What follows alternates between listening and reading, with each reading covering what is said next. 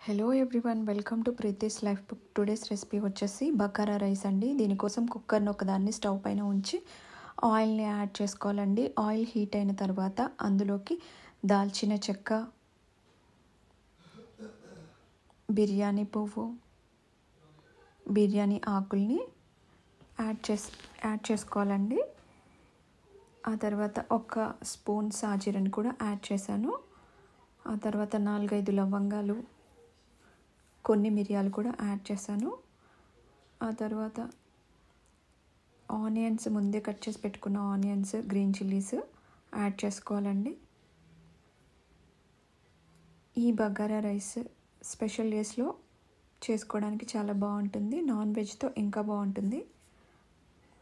ఇలా ఆనియన్స్ అన్నీ వేసి కొంచెం మిక్స్ చేసుకొని కుక్ అయిన తర్వాత అందులోకి సాల్ట్ యాడ్ చేసుకోవాలండి.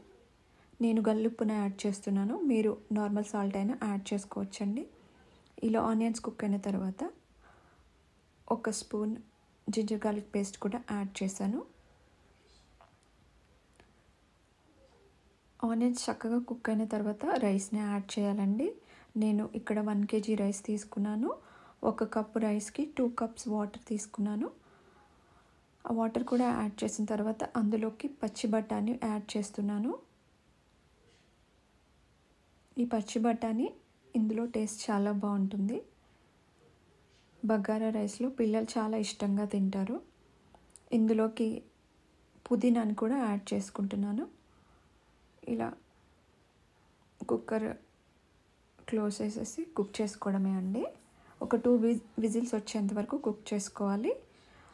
ఆవిరి దానంతట అదే పోయిన తర్వాత మాత్రమే కుక్కర్ ఓపెన్ చేయాలి. చూడండి రైస్ ఎలా కుక్ అయిందో.